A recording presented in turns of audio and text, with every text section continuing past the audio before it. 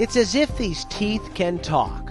These are replicas of some of the most important fossil skulls in the human fossil record.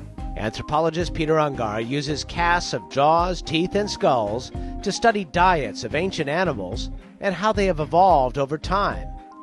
Here's a gorilla skull. The teeth on this thing are huge. They're also very cresty, which makes them well suited for uh, grinding up and shearing and slicing leaves and other tough vegetation. Ungar and his team at the University of Arkansas study microscopic scratches on thousands of teeth from primates to dinosaurs. Eating hard things or tough things could be hard work. For years, scientists believed that because early hominids had huge teeth and jaws, that meant their diets were made up of tough stuff like seeds and nuts.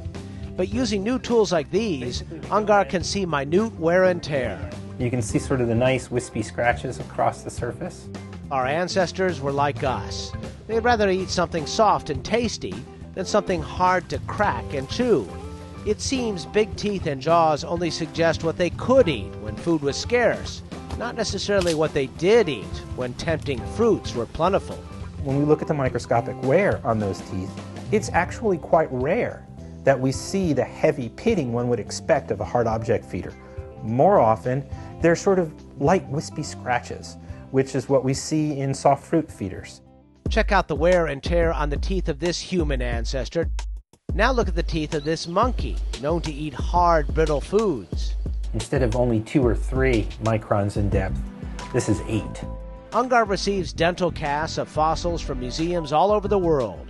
Take our fossil and just squirt it with this impression material. Casts are also made from live subjects. Ungar says more information about ancient animal diets will help shape understanding of behavior, migration patterns, and evolution. To me, those are like footprints, actual records of something an animal did in life. It's kind of cool to be the first person to see that.